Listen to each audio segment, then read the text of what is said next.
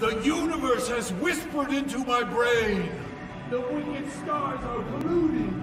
They must be stopped at once! That's a servant of the stars from the second ward. This land will soon be devoured by darkness! Run, citizens, for it is I who must act and destroy the source of this rot?